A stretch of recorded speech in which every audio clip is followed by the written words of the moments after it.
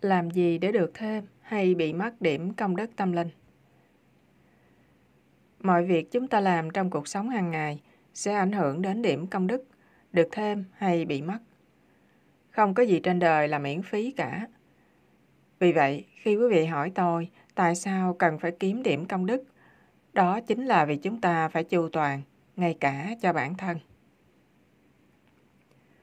Mua sắm và ăn uống Đi mua sắm, trừ 200 điểm. Vào tiệm ăn mặn, trừ 300 điểm. Ăn món có lẫn chất động vật, trừ 700 tới 1.000 điểm. Ăn thức ăn người khác nấu cho mình, trừ 50 điểm. Nấu cho chính mình ăn, trừ 20 điểm. Nấu cho người khác ăn, cộng 40 điểm. Uống một bình một lon nước trái cây 1 lít, trừ 0,5 điểm. Uống nước do người khác vắt 1 lít, trừ 0,7 điểm. Ăn gạo lứt, mè, nước tương và trái cây, trừ 1 điểm mỗi ngày. Ăn một ổ bánh mì Pháp, trừ 0,3 điểm. Ăn một trái đào, trừ 0,004 điểm. Ăn một trái chuối, trừ 0,004 điểm. Ăn một nắm trái anh đào, trừ 0,002 điểm. Ăn một chùm nho, trừ 0,001 điểm. Ăn một bữa rau trái tươi, trừ 10 điểm. Ăn một bữa thuần chay, trừ 20 điểm. Chỉ uống nước, thở, dùng năng lượng mặt trời, cộng trừ 0 điểm. Ăn thức ăn chay, thêm gánh nặng cho thể xác và linh hồn, 30%. Chỉ ăn trái cây, thêm gánh nặng cho thể xác và linh hồn, 10%. Uống nước trái cây, 50% nước và 50% nước trái cây, thêm gánh nặng cho thể xác và linh hồn, 5%. Nấu ăn cho bản thân, điểm công đức tự động giảm đi, 20% đến 40%. Nhịn ăn, nhịn uống, vẫn bị trừ đi 10%. Vì là sống trên đời này. Tán gẫu hoặc nổi giận. Nói xấu người khác trừ 500 điểm. Nói chuyện thời tiết hoặc băng quơ, vô hại hoặc không nhằm vào bất cứ ai, trừ 200 điểm. Khi nổi giận hoặc có cảm giác thù hận đối với người khác, tùy theo mức độ thù hận hoặc giận dữ, trừ 10.000 điểm. Cờ bạc Làm chủ sòng bạc, trừ 500.000 đến trừ 1 tỷ điểm mỗi năm. Làm việc trong sòng bạc, trừ 50.000 đến trừ 500.000 điểm mỗi năm. Đánh bạc kiếm tiền trong sòng bạc, trừ 30.000 đến trừ 100.000 điểm mỗi giờ. Chơi bài giải trí không ăn tiền, trừ 10.000 điểm đến trừ 30.000 điểm mỗi giờ. Buôn thuốc phi pháp, thuốc lá, rượu, thịt, cá, trứng, mãi dâm, buôn người. Buôn thuốc làm sai, thuốc phi pháp, á phiện, cần sa, ma túy. Trừ 200 triệu đến trừ 1 tỷ điểm mỗi năm. Buôn thuốc lá, trừ 100 triệu đến trừ nửa tỷ điểm mỗi năm. Buôn rượu, trừ 200 triệu đến trừ 1 tỷ điểm mỗi năm. Buôn thịt, cá, trứng, trừ 100 triệu đến trừ nửa tỷ điểm mỗi năm. Buôn người làm mãi dâm, nô lệ, trừ 600 ngàn đến trừ 900 triệu điểm mỗi năm. Mở nhà hàng bán thịt cá, trừ 500 ngàn đến trừ 1 tỷ điểm mỗi năm. Mở tử quán như quán phục vụ rượu, trừ 100 ngàn đến trừ 400 ngàn điểm mỗi năm. Mở một kỹ viện, trừ 500 ngàn đến nửa tỷ điểm mỗi năm. Mở một lò sát xanh, trừ nửa tỷ đến trừ 6 tỷ điểm mỗi năm. Mở một nông trại nuôi thú, trừ 1 tỷ đến trừ 3 tỷ điểm mỗi năm. Làm chủ hoặc làm việc trên thuyền đánh cá, trừ 500 triệu đến trừ 3 tỷ điểm mỗi năm. Làm nghề đánh cá hoặc nhân viên phục vụ, trừ 300 triệu đến trừ 1 tỷ điểm mỗi năm. Những người này sẽ không bao giờ lên được thiên đàng. Họ sẽ phải luân hồi và tiếp tục luân hồi vì họ cứ bị trừ đi vô số điểm công đức. Cho nên, dù họ có bao nhiêu điểm công đức tồn kho, rốt cuộc cũng sẽ mất hết. sát sanh. Giết một người thành niên, trừ 1 tỷ đến trừ 4 tỷ điểm. Giết một con thú hoặc một con chim, trừ 800 ngàn đến trừ 3 triệu điểm, tùy theo kích thước lớn nhỏ. Sẽ có một ngày, một lúc trên thế giới chúng ta, sát sanh thú vật cũng sẽ là hành phạm, kết án tương đương với tội giết người. Đến một lúc, nó sẽ như vậy trên thế giới của chúng ta. Phá hủy hoặc ô nhiễm môi trường Cắt hoặc là hủy hoại một cây lớn, trừ 100.000 đến trừ 500.000 điểm. Làm ô nhiễm một thước khối nước, gây bệnh hoặc thiệt hại nhân mạng, trừ 100.000 đến trừ 400.000 điểm. Làm ô nhiễm một thước khối không khí, do thuốc lá, xì gà, cối xe đều như nhau, trừ 100.000 đến trừ 400.000 điểm. Lau chùi và giặt quần áo Dọn dẹp nhà cho Minh Sư, cộng 20.000 điểm mỗi năm. Giặt quần áo cho Minh Sư, cộng 5.000 điểm mỗi năm. Mặc quần áo người khác giặt dùm, cộng trừ 0 điểm. Xem truyền hình hoặc phim ảnh. Xem phim đồi trụy và bạo lực, trừ 300 điểm mỗi giờ. Xem truyền hình vô thường sư, cộng 800 điểm mỗi giờ. Làm việc cho truyền hình vô thường sư, cộng 3.000 điểm mỗi giờ. Giới thiệu truyền hình vô thường sư và được một người khác xem, cộng 20.000 điểm. Viết lời tâm tình cho truyền hình vô thường sư, cộng 3.000 điểm. Xem hội thảo trực tuyến hoặc hội họp với sư phụ, cộng 10.000 điểm mỗi phút, bất kể có phải là đồng tu hay không. Đồng thời sư phụ sẽ mất 10 triệu điểm mỗi phút. Xem băng sư phụ đã được phát hành, cộng 5.000 điểm mỗi phút. Sư phụ sẽ bị mất 3 triệu điểm mỗi phút. Tòa thiền Đồng tu pháp môn quán âm, pháp môn thiền quán ánh sáng và âm thanh, quán âm và quán quang bằng nhau. Cộng 100.000 điểm mỗi giờ. Trung định. Một đệ tử nhập định, cộng 500.000 điểm mỗi giờ. Một đệ tử thiền một mình, cộng 40 điểm mỗi giờ, ngay cả không nhập định hoặc không thể tập trung. Đồng tu cộng tu với sư phụ Thanh Hải Vô Thiền Sư, cộng 300.000 điểm mỗi giờ. Sư phụ Thanh Hải chạm vào một đồng tu, sư phụ bị mất 100 điểm, đệ tử được 1.000 điểm. Sư phụ Thanh Hải nhìn vào người nào, sư phụ mất 500 điểm, cá nhân đó được từ 5.000, 10.000 đến 30.000 điểm. Sư phụ Thanh Hải nhìn mọi người trong đại điện, mỗi người được 50.000 điểm mỗi phút. Sư phụ mất 200.000 điểm mỗi phút. Đồng tu tòa thiền ở thiền đường bất kể nơi nào, cộng 200.000 điểm mỗi giờ. Đồng tu tòa thiền ở giữa tuyến gia trì tại thiền đường, cộng 200.000 đến cộng 8 triệu điểm mỗi giờ. Lực gia trì tại bất kỳ thiền đường nào hơn gấp 20% đến 70% so với tại tư gia. Ngồi bên tuyến gia trì được hơn 10% đến 60% so với thiền đường bình thường. Bế quan với sư phụ được từ 30 triệu đến 250 triệu mỗi giờ, tùy theo mức độ thành tâm và tập trung của cá nhân trong lúc tọa thiền. Tọa thiền và vận động dưới ánh mặt trời Đồng tu thuần chay ở cảnh giới thứ ba nhập định thiền với ánh mặt trời được đến 30 triệu điểm mỗi giờ. Tín đồ Phật giáo không ăn chay hoặc ăn chay tùy hứng, ngồi với ánh mặt trời và toàn tâm niệm Phật, cộng 200.000 điểm mỗi giờ. Tín đồ bất cứ đạo nào, Thiên Chúa giáo, Hồi giáo, Ấn giáo, đạo Zoroastrian, Phật giáo, ngồi với ánh mặt trời và thành tâm cầu nguyện, được trên dưới 200.000 điểm mỗi giờ. Thiền sư ăn chay tu thiền dưới ánh mặt trời, như quán hơi thở.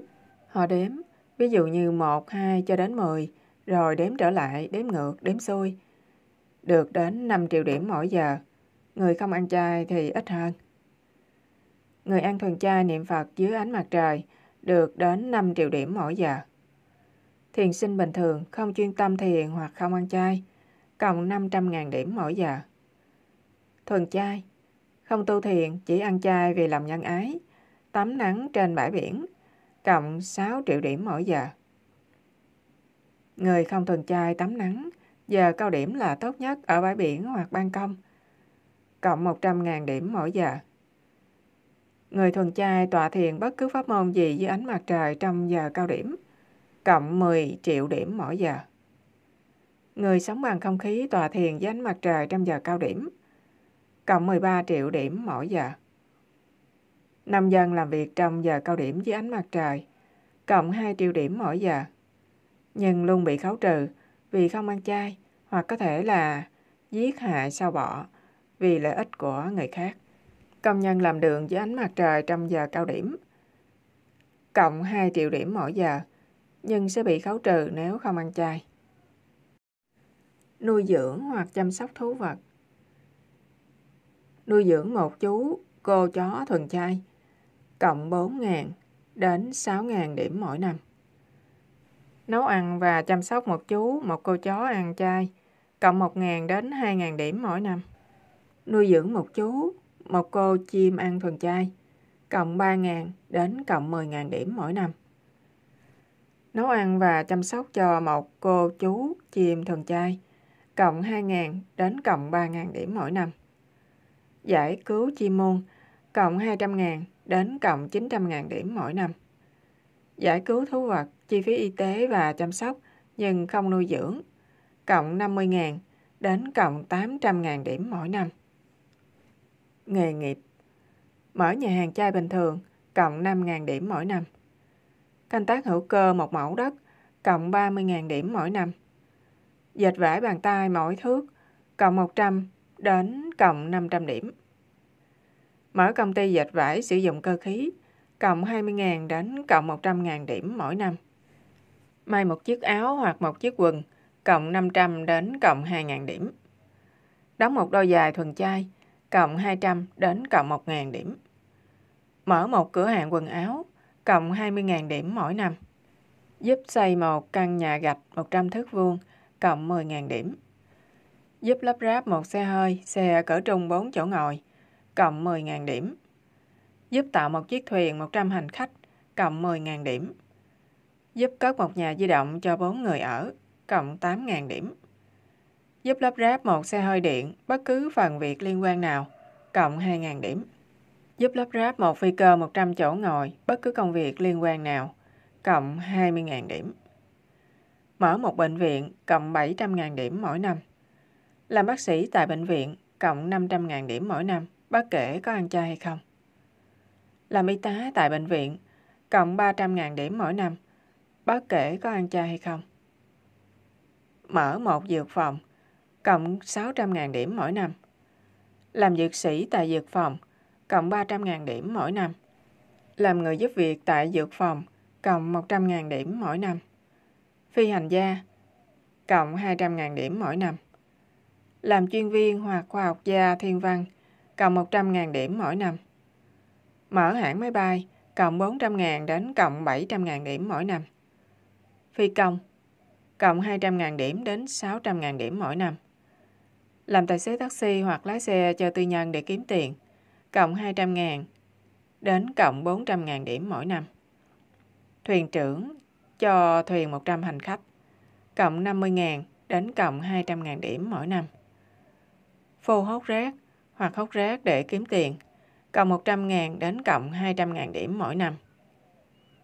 Làm đường mỗi thước, cộng 1.000 đến cộng 5.000 điểm. Xây cầu mỗi thước cộng 2.000 đến cộng 7.000 điểm. Nuôi dưỡng con của chính mình cộng 50.000 đến cộng 300.000 điểm mỗi năm. Nuôi dưỡng một trẻ nhận nuôi cộng 70.000 đến cộng 600.000 điểm mỗi năm. Điểm công đức không phải đi tiêu phí, tốt nhất là nên gìn giữ. Ngay cả công ích vật chất, chúng ta nên làm ra nhiều hơn bởi vì điều gọi là công ích vật chất cũng sẽ được hoán đổi ra điểm công đức, hoặc một phần nào đó của điểm công ích sẽ được hoán đổi thành điểm công đức, hoặc cũng có thể ảnh hưởng đến cảnh giới tâm linh của tu hành. Ngài Thanh Hải Vô Thần Sư khai thị trong buổi trực tuyến với nhân viên truyền hành Vô Thần Sư tại Los Angeles, California, Hoa Kỳ, ngày 7 tháng 7, ngày 1 tháng 8, ngày 30 tháng 8, ngày 3 tháng 10 năm 2010.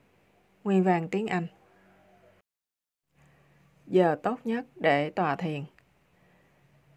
Trong buổi hội thảo trực tuyến ngày 30 tháng 8 năm 2020 với Ngài Thanh Hải Vô Thần Sư, nhân viên đài truyền hình Vô Thượng Sư đã được phép nêu một số thắc mắc về tòa thiền và tu hành.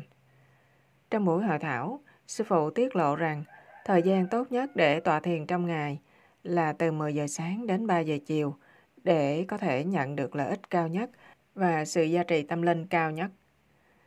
Đơn vị của các con số trên sơ đồ sau đây là những triệu điểm một giờ mà Vô Thượng Sư Thanh Hải đạt được khi Ngài tọa thiền tại nơi tốt nhất của thế giới. Từ 12 giờ khuya đến 1 giờ sáng, 6 triệu điểm một giờ. Từ 1 giờ đến 2 giờ sáng, 7 triệu điểm một giờ. Từ 2 đến 3 giờ sáng, 8 triệu điểm một giờ. Từ 3 đến 4 giờ sáng, 9 triệu điểm một giờ. Từ 4 đến 5 giờ sáng, 10 triệu điểm một giờ. Từ 5 đến 6 giờ sáng, 18 triệu điểm một giờ. Từ 6 đến 7 giờ sáng, 20 triệu điểm một giờ. Từ 7 đến 8 giờ sáng, 25 triệu điểm một giờ. Từ 8 đến 9 giờ sáng, 30 triệu điểm một giờ. Từ 9 đến 10 giờ sáng, 40 triệu điểm một giờ. Từ 10 giờ sáng đến 3 giờ chiều, 60 triệu điểm một giờ.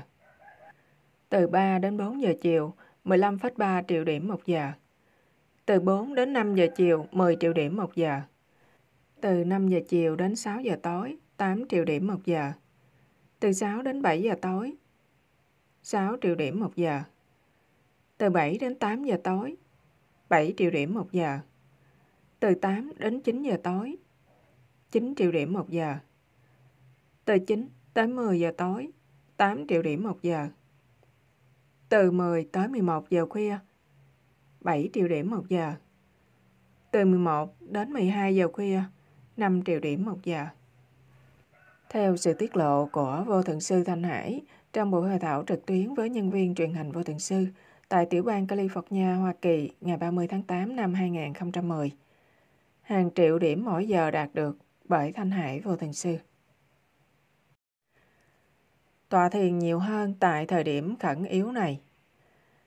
Hiện tại chúng ta cần phải thiền nhiều hơn, tất cả mọi người, để thanh tịnh hóa từ trường của thế giới và để thăng hoa con người và chúng sinh trên địa cầu, giảm đi khổ đau, nâng cao sự khai ngộ và an toàn, tăng thêm lợi ích và điều thiện lành cho mọi người. Những điều này hiện tại hết sức quan trọng hơn bất cứ lúc nào khác. Vô Thượng Sư Thanh Hải khai thị trong buổi hội thảo trực tuyến với nhân viên truyền hình Vô Thượng Sư tại thành phố Los Angeles, California, Hoa Kỳ ngày 30 tháng 8 năm 2010. Nguyên văn, tiếng Anh.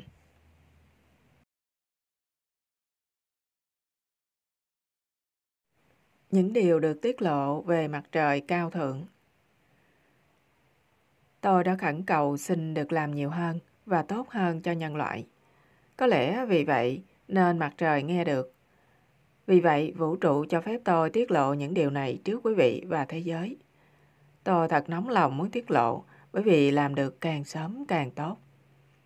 Mặt trời là thiên nhân thánh khiết cảnh giới thứ năm, vốn không cần phải tiến hóa như nhân loại. Những thiên nhân cảnh giới thứ năm này xuất phát từ tình thương đối với địa cầu và các hành tinh lân cận đã biến ra thành mặt trời để giúp đỡ chúng ta. Họ hiện ra một cách trực tiếp thuần túy từ cảnh giới thứ năm. Mặt trời soi rạng toàn địa cầu chúng ta cư ngụ và nó ban sự sống cho mọi chúng sinh. Thảo mộc, khoáng sinh, môn thú, vân vân. Mặt trời cũng đem lại hạnh phúc và cảm giác tự tại. Mặt trời là nhu cầu cần thiết cho mọi chúng sinh trên địa cầu. Mặt trời mang lại rất nhiều lợi ích. Mặt trời chữa lành nhiều bệnh. Mặt trời ban bố lợi ích cho vạn vật xấu hoặc tốt. Mặt trời là một thiên nhân tuyệt mỹ. Tôi yêu mặt trời mãi mãi. Tôi yêu mặt trời rất nhiều và mặt trời mãi mãi yêu thương chúng ta. Tôi yêu mặt trời. Tôi ngưỡng mộ mặt trời. Tôi có thể ở ngoài trời cả ngày. Nếu quá nóng, tôi dùng khăn che lại một chút để làm nó dịu, ngăn lại một chút để mắt tôi không bị đau. Quý vị vào lúc sáng sớm có thể nhìn thẳng vào mặt trời khoảng 10 phút. Khi mặt trời vừa lên, nhìn được khoảng 10 phút cỡ đó. Nhiều hơn chứ không ít hơn vào buổi tối khi mặt trời lặn. Có người làm như vậy để khỏi phải ăn gì cả. Và lợi ích về sức khỏe quý vị đã biết rồi. Tôi đã nói với quý vị rồi, nếu chúng ta đi tắm nắng, nó chữa được nhiều bệnh, điều chỉnh tâm lý lệch lạc của chúng ta cùng với sa sút tinh thần và các chuyện như vậy. Có một số nước thiếu ánh sáng mặt trời, họ không cảm thấy hạnh phúc bằng những nước có nhiều ánh sáng mặt trời. Nếu quý vị ngồi thiền dưới ánh mặt trời, điều đó rất rất rất tốt cho quý vị về việc phát triển tâm linh. Nó có thể làm tăng thêm hàng trăm ngàn hoặc cả triệu điểm công đức nếu quý vị tập trung được tốt, quý vị xứng được hưởng. Phải, tôi có nói với quý vị, thiền từ 10 giờ sáng đến 3 giờ chiều, đó là giờ tốt nhất. Tại sao? Đó là vì lúc mặt trời lên cao nhất. Ngài Thanh Hải Vô Thượng Sư khai thị trong buổi hội thảo trực tuyến với nhân viên truyền hình Vô Thượng Sư, thành phố Los Angeles, California, Hoa Kỳ, ngày 3 tháng 10 năm 2010. Nguyên văn tiếng Anh Khi quý vị thiền dưới ánh mặt trời, điểm công đức của quý vị tăng gấp bội, ngay cả những người không thiền theo Pháp Quán Âm, chỉ thiền theo Pháp bình thường. Những người thiền theo Pháp môn Quán Âm được lợi ích nhiều nhất từ mặt trời. Người tu hành pháp môn khác cũng được nhiều lợi ích, nhưng không nhiều như pháp môn quán âm. Tôi không hiểu tại sao. Chỉ là khi tìm hiểu, tôi được biết như vậy, và tôi biết được điều đó. Chẳng hạn, người thuận trai và tu hành tinh tấn và nhập đại định, dù chỉ là người tu hành pháp môn quán ánh sáng và âm thanh ở canh giới thứ ba, có thể đạt được 30 triệu điểm công đức dưới ánh mặt trời. Nếu quý vị che mình lại hoặc ngồi trong bóng mát, có ánh mặt trời ở lân cận cũng đủ tốt rồi. Không cần phải ngồi cả ngày dưới ánh mặt trời, có thể sẽ bị phỏng hoặc thậm chí bị ung thư da, như vậy không tốt. Nếu mặt trời rọi qua, quý vị có thể ngồi gần tia sáng mặt trời, hoặc trong công viên mặt trời có tia sáng rọi qua, hoặc chỉ ngồi một lúc rồi trở vào trong mát. Ngồi dưới ánh mặt trời rồi đi vào trong mát, hoặc ngồi dưới ánh mặt trời nhưng che lại, như loại vải bạc để che, tấm bạc che nắng xuyên cửa sổ. Như vậy cũng được. Quý vị không cần phải ngồi ngay dưới ánh mặt trời vào giờ nóng nhất trong ngày. Cách đó không tốt cho quý vị. Những người tu pháp môn quán ánh sáng và âm thanh là được nhiều lợi ích nhất từ ánh sáng mặt trời nếu họ ngồi dưới ánh mặt trời hoặc gần khu vực có ánh mặt trời, ngay cả ngồi dưới tấm bạc hoặc ngồi trong nhà nơi có ánh mặt trời. Như vậy cũng được lợi ích nhưng ít hơn. Cứ ngồi trong ánh mặt trời hoặc nơi mặt trời chiếu đến hoặc nơi ánh mặt trời dọi đến quý vị. Hoặc ngồi dưới tấm bạc khi quá nóng hoặc ngồi trong lều với y phục mỏng, y phục trắng hoặc bất kỳ là vải gì thích ứng với độ nóng là được. Quý vị có thể ngồi trên ghế dài ở hiên nhà đầy ánh nắng có đồ che lại. Bất cứ người tu pháp môn của ánh sáng và âm thanh ngoài kia không cần phải thuộc đoàn thể chúng ta sẽ được lợi ích rất lớn nếu làm theo những điều chỉ dẫn này. Tôi tiết lộ những điều này để những người tu hành pháp môn âm bên ngoài hay bất kỳ ở đâu, bất kỳ với vị minh sư, vị thầy nào cũng đều được lợi ích. Ngay cả các vị thầy hoặc minh sư của pháp môn quán ánh sáng và âm thanh ở nơi nào khác, họ cũng sẽ được rất nhiều lợi ích nếu họ ngồi dưới ánh mặt trời Dĩ nhiên là có đồ che nếu quá nóng. Đừng sang Ấn Độ để thử. Nơi đó thật sự là nóng. Ta nói với quý vị chẳng hạn, ngay cả người không phải tu theo pháp môn quán sáng và âm thanh, nếu quý vị cứ ngồi đó niệm các hồng danh hoặc niệm danh hiệu Phật, quý vị cũng được lợi ích hàng triệu điểm công đức. Tôi cũng tiết lộ điều này với tất cả đoàn thể tâm linh, các trường phái tu hành, để họ càng được nhiều lợi ích hơn. Chúng ta phải toàn tâm tri ân mặt trời với lòng khiêm tốn và chân thành, hết sức, hết sức tri ân qua tất cả những điều tôi đã tiết lộ. Bởi vì những điều này, chúng ta phải vô cùng cảm ơn mặt trời. Mặt trời cao thượng, nhân ái, cao quý. Mặt trời với đẳng cấp tâm linh hết sức cao cả đã cho tôi biết những điều này.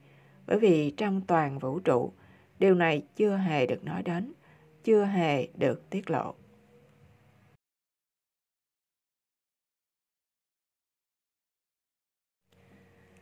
Làm thế nào để nhận được nhiều giá trị?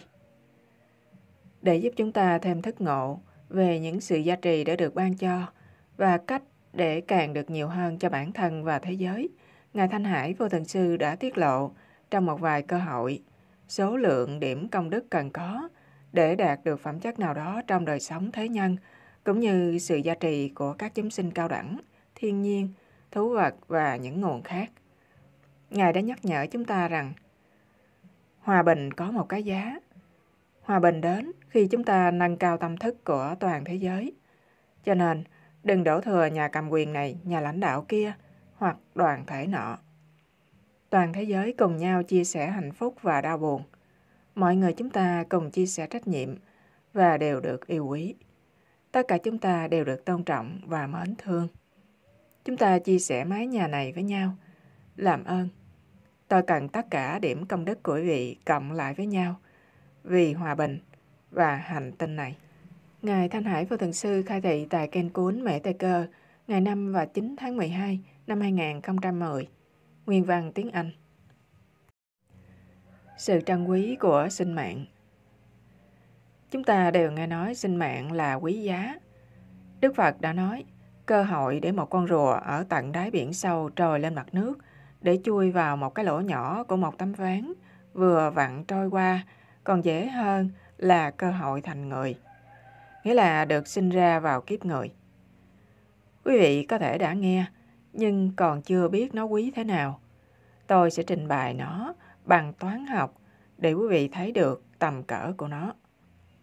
Thiên đàng có hệ thống điểm số để phân loại ai là ai. Nhân loại chúng ta rất, rất là quý giá.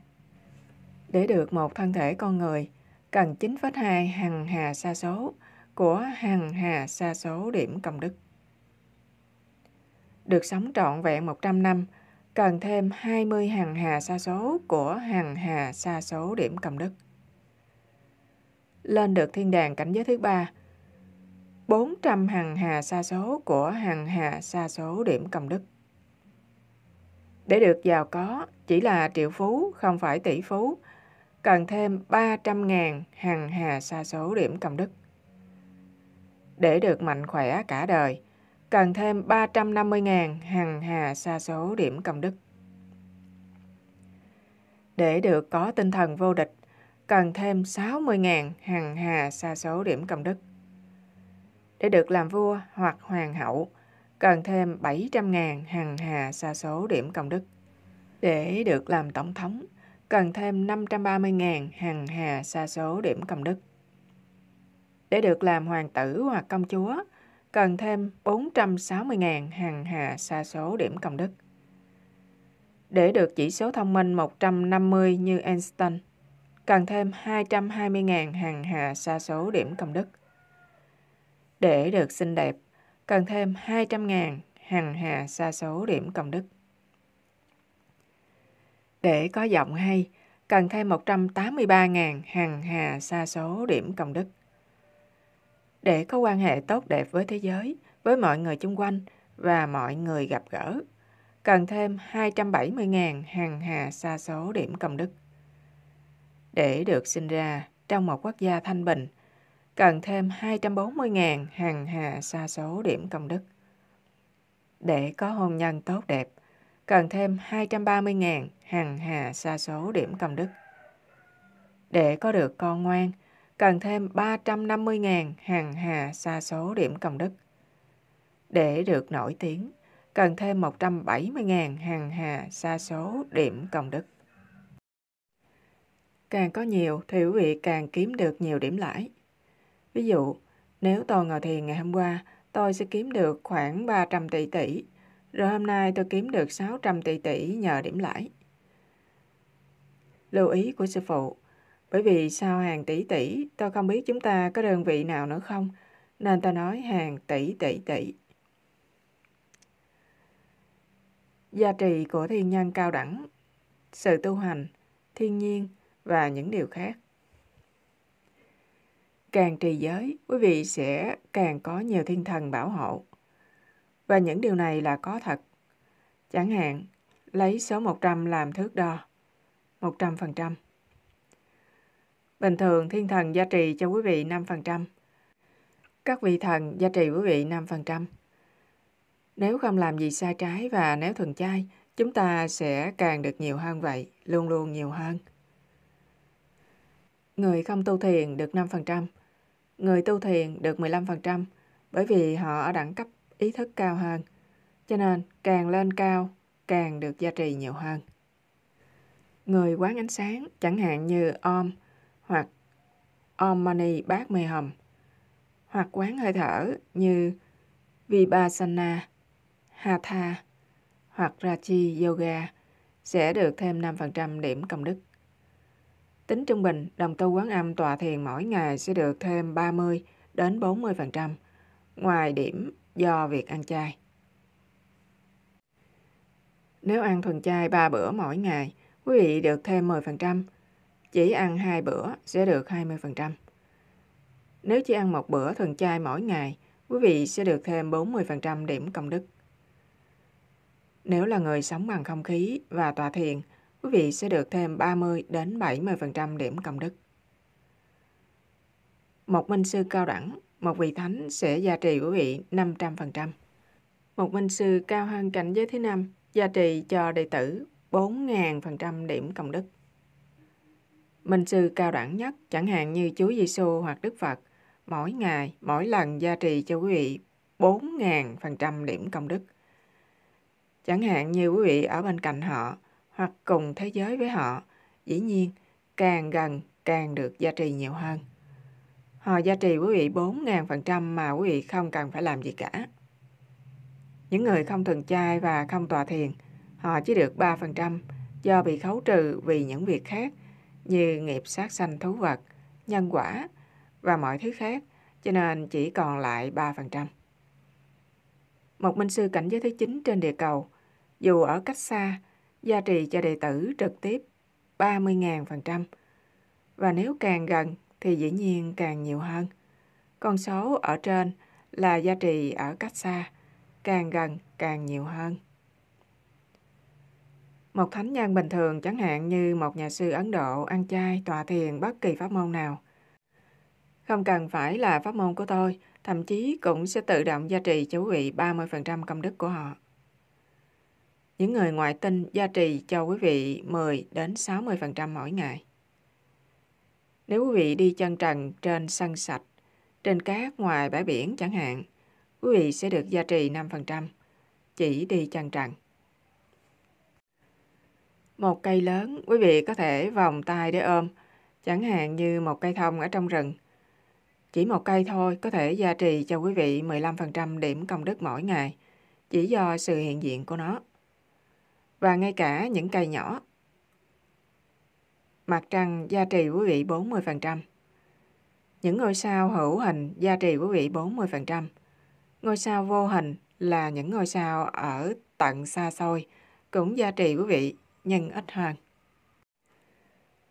Biển cả cũng gia trì quý vị rất nhiều và mặt trời, sông, nước, gió, không khí cũng gia trì quý vị 10-15%. Khi quý vị tọa thiền nơi trống trải, quý vị được gia trì 59% nhiều hơn là trong tòa nhà đóng kín. Tường nhà càng dày thì lực lượng gia trì có chút giảm đi. Khi quý vị đi bộ trong vườn hoặc ngồi trong vườn và tọa thiền, quý vị được nhiều điểm công đức hơn là ngồi trên sàn nhà của căn phòng nhỏ nơi nào đó. Tóc cũng gia trì quý vị, mái tóc dài. Mái tóc dài dài cỡ như tôi, quý vị được gia trì thêm 5%. Gia trì từ thú vật Chó của quý vị gia trì cho quý vị 3% mỗi ngày. Chó của tôi gia trì cho tôi 6% đến 8% bởi vì họ thuần chay và tôi thương họ và họ đáp lại tình thương đó. Không phải ai họ cũng gia trì, ngay cả bạn lữ nhân loại của họ. Nếu người đó không thương họ, họ không gia trì. Chẳng hạn, tôi có một phụ tá giúp tôi chăm sóc đoàn chó khi tôi không có ở nhà và suốt ban ngày khi tôi bận rộn, nhưng chó của tôi không gia trì cho họ nhiều. Họ gia trì có 1%, 2%, nhưng họ gia trì tồi 8%, 6%, tùy theo kích thước và có thần chai lâu chưa. đoàn chó càng ở với tôi lâu hơn thì tỷ lệ gia trì càng cao hơn. Nếu là chó ăn chay, họ gia trì cho quý vị 3%. Chó không ăn chay gia trì quý vị ít hơn như 2% chẳng hạn. Chim cỡ trung gia trì quý vị 4%. Chim két chẳng hạn, một con chim két lớn gia trì quý vị càng nhiều hơn, 8%. Gà Tây nuôi ở sau vườn của vị sẽ gia trì của vị 5 đến 10%. Gà tuy nhỏ và yếu đuối cũng gia trì của vị 2% đến 6% hoặc 10% vì nếu vị nuôi họ thuần chay thì họ càng thêm lực lượng để gia trì quý vị. Thỏ từ 4 đến 6%. Bò gia trì quý vị từ 7 đến 15% điểm công đức. Heo gia trì quý vị từ 5 đến 10%. Cừu gia trì quý vị từ 5 đến 10%. Ngựa gia trì quý vị từ 6 đến 15%. Voi gia trì 40% điểm công đức. Voi trưởng thành. Hải cẩu ở trên biển gia trì quý vị 13%. Dê gia trì quý vị 5%. Cọp rừng có thể gia trì quý vị 2%. Sư tử gia trì quý vị 1%. Ngỗng gia trì quý vị 15%. Ong gia trì quý vị 1%. Bướm gia trì quý vị 1%. Ruồi gia trì quý vị 0,5%. Chim hoang gia trì quý vị Hải Âu gia trì quý vị 8%. Thậm chí cá sấu gia trì quý vị 2%. Heo rừng gia trì quý vị 8%. Rùa gia trì quý vị 15%. Mèo hoang từ 2 đến 6%. Ngay cả chồn gia trì quý vị 4%. Nếu ăn thịt thú vật, điểm công đức của chúng ta phải bị trừ đi để trả cho thú vật đó. Sư phụ cũng dịu dàng nhắc nhở chúng ta phải bày tỏ lòng tri ân trước những sự gia trì nhận được. Mỗi khi quý vị tọa thiền, nếu nhớ, hãy nói cảm ơn các ngài, xin gia trì cho tôi. Xin cảm ơn sự gia trì của quý ngài. Và khi nhận vào, cảm ơn, cảm ơn tất cả quý vị. Tất cả quý vị, tất cả thảo mộc, rau cải, đất, không khí, nhật, nguyệt, tinh tú. Tất cả các vị thần đã gia trì cho quý vị, thiên thần, người ngoại tinh, hữu hình, vô hình, và tất cả thú nuôi, thú hoang, vân vân. Sự gia trì của lòng biết ơn chân thành. Quý vị rất may mắn, quý vị biết hết mọi thứ. Sự gia trì tâm linh, gia trì của ánh mặt trời, gia trì của gió, gia trì của thảo mộc, gia trì của muôn thú. Hàng ngày hãy cảm ơn mọi thứ. Bởi vì nếu quý vị không cảm ơn họ, họ cũng không để tâm, nhưng quý vị càng trân quý thì sẽ càng được nhiều hơn. Quý vị hiểu tại sao không? Không phải là họ sẽ gia trì cho quý vị ít hơn, mà vì khi quý vị tri ân thì thái độ của quý vị sẽ khác đi. Quý vị sẽ khiêm tốn, thấy không? Và từ trường quý vị thay đổi. Quý vị đi vào cảnh giới cao hơn. Và khi quý vị lên cảnh giới càng cao, thì sự giá trị thu được sẽ càng nhiều hơn. Chỉ như vậy. Cho nên, sự tri ân không có nghĩa gì đối với thú vật, hoặc cây cối, hoặc mặt trời, hoặc các vị thần thật sự cần quý vị cảm ơn để gia trì nhiều hơn. Không phải vậy. Họ không để tâm. Họ ban cho vô điều kiện. Thú vật, thảo mộc, rau cải, họ gia trì vô điều kiện. Nhưng chúng ta càng tri ân thì họ càng điều chỉnh nhiều hướng về quý vị. Và với tất cả tạo vật chung quanh gia trì cho chúng ta thì chúng ta khiêm tốn. Khiêm tốn nghĩa là không có ngã chấp. Không có ngã chấp nghĩa là sự thánh thiện càng sáng chói hơn. Sự thánh thiện bên trong quý vị càng nhiều thì tỷ lệ sẽ cao hơn ngã chấp. Như vậy, quý vị càng cao thông với sự hoàn mỹ và thánh thiện và quý vị sẽ nhận được nhiều giá trị hơn. Điều kiện là ở bên trong quý vị. Ngài Thanh Hải Vô Thường Sư khai thị tại Ken Cuốn Mễ Tây Cơ vào ngày 16 tháng 12 năm 2010, nguyên vàng tiếng Anh, DVD số 923. Sự gia trì tuyệt vời của mặt trời Để tôi tiết lộ với quý vị một bí mật. Một điều rất bí mật mà chưa ai có hề nói với quý vị. Nếu một người có thiện tâm, không hề gây hại cho ai, không nhất thiết là phải làm điều thiện gì đối với ai, chỉ là không làm hại ai và nếu ăn thuần chay, ngay cả bắt đầu từ tuổi cao niên. Tôi bất kể là từ khi nào, và nếu mỗi ngày họ cứ nhìn lên mặt trời và cầu gia trì, cầu cho thăng hóa tâm linh, họ sẽ đạt được cảnh giới rất cao, có thể được ngay cả cảnh giới thứ năm.